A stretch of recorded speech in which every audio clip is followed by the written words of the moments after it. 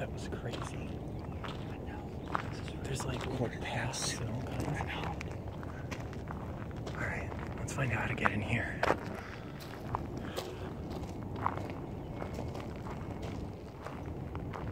The fence is cut right there.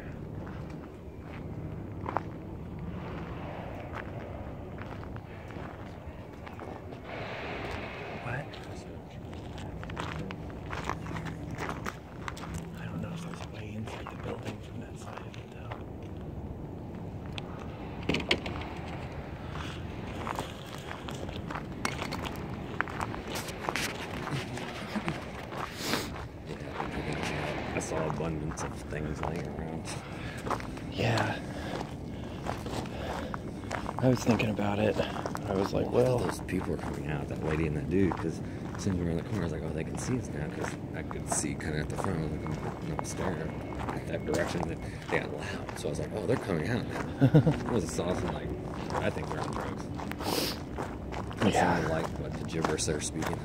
yeah, they're just in there listening to the radio. That's when I was like, oh, I'm gonna get out of here because uh, that's not what they do.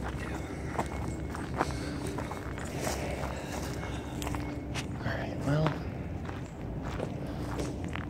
Maybe we should go back and try that side. Well, we'll be on, right by that parking lot of this building. That way.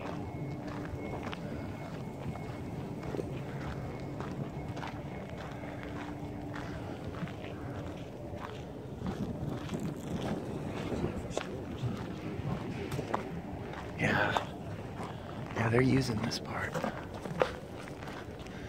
Yeah, this place used to make all, like all of the steel for almost all of Oklahoma City.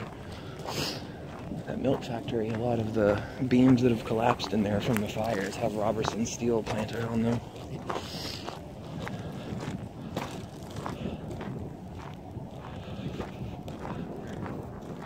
There's a way to get over here. I think. Yeah, because this is huge.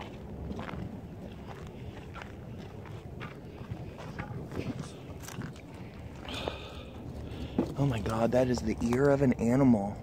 That straight up isn't here. It's like a deer's ear. Oh, it was probably a mounted head, I bet. Some kind of taxidermy thing.